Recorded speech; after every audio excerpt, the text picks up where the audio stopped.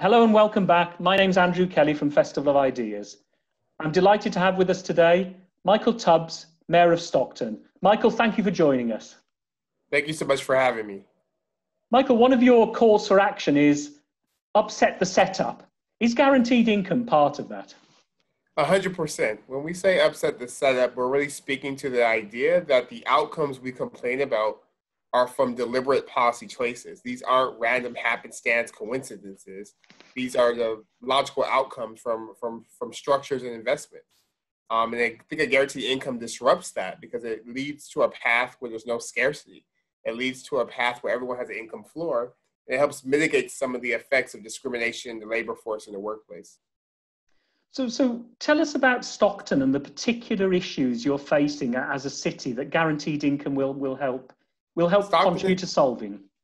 Yeah, yeah, Stockton is the most diverse city in the United States, um, meaning every ethnicity is in Stockton. In fact, the oldest Sikh temple in North America is in Stockton.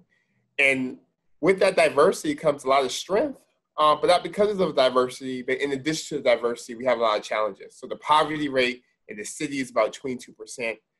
Um, the median household income is $46,000 for an household, meaning the individual median income is lower. Um, about 50% of all jobs are minimum wage or just above minimum wage. So real structural issues with the economy. And that's what led me to embrace a guaranteed income. Number one, to show how it's a policy that works for all of us, not just for them. Um, number two, um, to really deal with the impacts of economic insecurity or the fact that my folks are working harder than ever, but still are unable to pay for basic necessities like shelter and healthcare and food. Um, and, and then number three, to really model um, for this nation that you can trust, or for the United States, excuse me, that you can trust all citizens, including those who may struggle a little bit financially, to make the right decisions for themselves and their families with money. Now, you you were elected in 2016.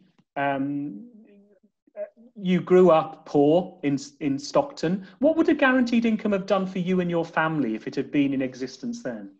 A guaranteed income would have made a world of difference. It would have allowed my mother to stop going to predatory cash advance places a little bit earlier. It would have allowed her to have some savings, um, not just for me to go to college, but for herself. Um, and that she worked so hard, but was always paycheck to paycheck. It would have let, meant that she didn't have to, I didn't have to shadow her at work on the weekends while she did outreach jobs, that she could have been home and rested. It would have meant she could have taken care of herself and her health and take mental health days or take wellness days and go to the spa. Um, I never saw my mom ever go to the spa or get her nails done or do anything that so many people take for granted. Um, I think it would have meant she would have been even an even better parent, as she would have been less stressed, less anxious, um, less worried about how to make the ends meet. Now, you you um, you're quite well advanced with the pilot program that you've been running on on basic income. Can, can we talk about this in a, in a little bit of detail? Can you can you first of all say how far you are along with the program yeah, and how are, many people are involved? Yeah, we are 21 months um, in, into the program. Um, we started in February of 2019, and a randomly selected group of 125 families who represent the city have been given $500 a month since um, February. And what we've seen throughout even pre-COVID times, was folks were folks were using the money the way you and I and those watching this wonderful festival use money, because they're human, just like us, um, because they are us. And and what was most interesting, Andrew, however, was during COVID nineteen, when we saw that the guaranteed income was a was a real lifeline, particularly for people who were told not to go to work but didn't have paid time off, particularly for people who were told um, to wait for unemployment insurance although because in the states you have to wait for unemployment insurance, although the bills weren't waiting. Um, we heard from workers that said that $500 was enough for them to actually stay home, but they probably would have still went to work and possibly exposed countless other people because they needed to work to live. Um, and I think that's what's made this such a um, issue. I mean, I'm now an evangelist for because we live in a time of pandemics. And if it's not COVID 19, it's a it's an earthquake, if it's not an earthquake, it's some sort of fire. But there's going to be this disruptive event, and a guaranteed income allows everyone to at least have the bare necessities to build resilience, which is necessary during these times. I, I read a recent interview with you in the in the New York Times where you said you'd actually been quite moved by the experience of people benefiting from this scheme. Yeah, because when you think about it, Andrew, and even someone who grew up in poverty but being not rich, but at least comfortable, I know my bills will be paid every month. Um, you underestimate just how important 500 like $500 would be nice for me but it wouldn't be a lifeline. But for so many people in my community $500 is literally the difference between having dentures and not. Mm. the difference between paying tutoring for your kids or not. The distance between going to the doctor or not. The difference between working two jobs or not right or the difference between being evicted or not um, and that has just moved me and also i've been moved with how creative and resilient folks are with the money. Like one gentleman, Tomas, used the money to take time off to interview for a better paying job. And he said he couldn't do that before because if he took time off, that meant money out of his pocket because he doesn't have paid time off or he didn't have paid time off. And stories like that just remind me that the issue isn't, at least in the States, the issue isn't with the American people. The issue is with some of the choices of American politicians and also just the fact that our economy does not work for working people.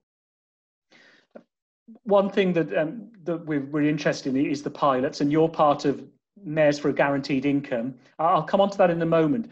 who's funding the pilots? Have you got support from elsewhere, or is it city funds that you're using? Yeah, so this our pilot was funded by the Economic Security Project, um, funded by Chris Hughes, um, who gave them million dollars for disbursements, and then we raised another million dollars for like the research and the staffing, et cetera.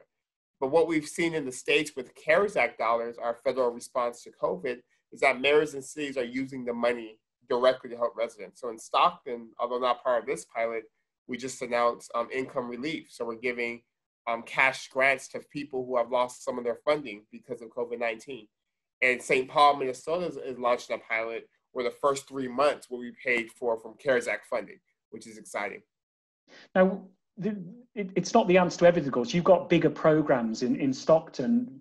Watching the, the film about you, which I, I mentioned at the end, which I do encourage people to see, um, you have a very extensive education program. This, this guaranteed in- income is not going to replace uh, other forms of social support, is it? Yeah, I, my, my position has been and will be that a guaranteed income has to supplement our existing social safety net, not replace it. And I say that because if in the status quo, some people need more help than others, I'm not sure how that's solved by getting rid of all help and then giving everyone the same amount of help. Help.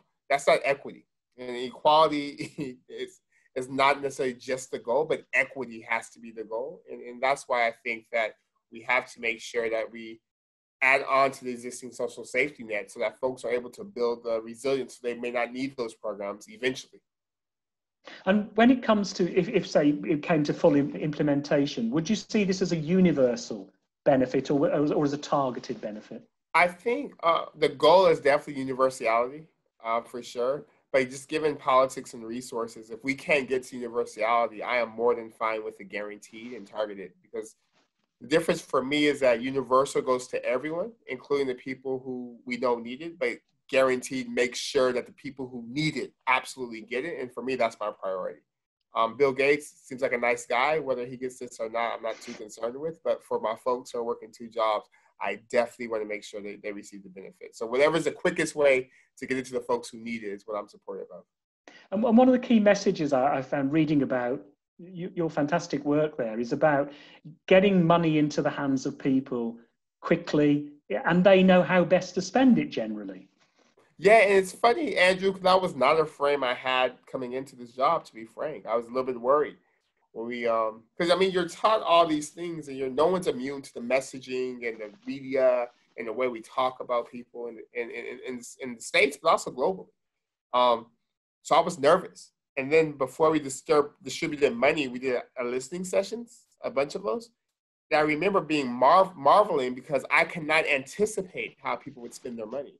That everyone I talked to had a different way how the money would help. And that was real humbling and eye opening for me. And Like, oh, wow, you need to trust your people. You trust them enough to elect you. You should trust them enough to make the right decisions for themselves and their family. And that's not to be naive. We know 100% of people aren't going to spend money 100% um, the way they quote unquote should.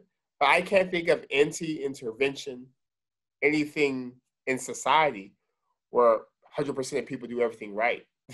That's just not the world we live in. So now you're not only running this pilot scheme and, and being mayor of the city, but you're also the founder of Mayors for a Guaranteed Income. Who, who makes up the, the Mayors for a Guaranteed Income? Because you've got some very powerful places behind it, haven't you? Yeah, the Mayors for Guaranteed Income is a national organization of mayors who are saying we want a guaranteed income policy in this country, and we're willing to pilot it in our cities. So you have um, the mayor of St. Paul, Minnesota, which will be the second city to pilot um, you have the mayor of Newark, New Jersey, the mayor of LA, the mayor of Atlanta, the mayor of Philadelphia, the mayor of Pittsburgh, the mayor of Seattle, the mayor of Tacoma, um, the mayor of Jackson. You just have mayors from across the United States who are saying now is the time um, for a guaranteed income. So I'm excited ab- about the work because I understand that in the States, mayors have a unique perspective and a unique voice because we're problem solvers. That we're not making speeches all day. We're not pontificating and fighting all day, but we're actually trying to solve real structural issues. Now, some of the, the criticisms leveled against this, and we have the same criticisms leveled here, is A, that it's, it's wasteful because its universality means that some people will get it who don't need it, although often the taxation system solves that.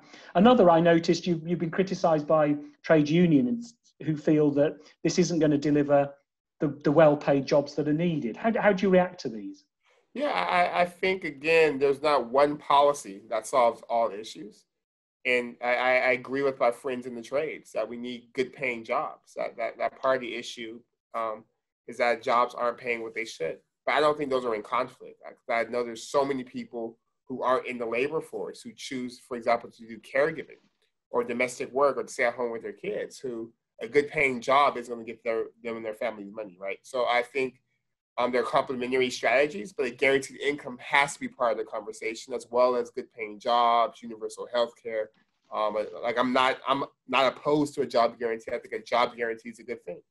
Um, I think a job guarantee solves for a specific set of problems. I think a guaranteed income is a complement to that. Now, one of the, the, the, the great people who inspired you is Martin Luther King in this. This, this is not a, a new idea. But but you, I saw that um, you'd commissioned artists to celebrate both Dr. King and the idea of a guaranteed income in Stockton itself. Yeah, absolutely. I learned about guaranteed income from studying Dr. King in college. Uh, many people don't know, but in 1967, before he died, he wrote, Where do we go from here? Chaos or Community. He talks about the need for a guaranteed income.